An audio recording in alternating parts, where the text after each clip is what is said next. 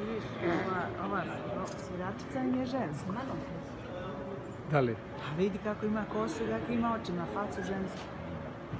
Te jedeš?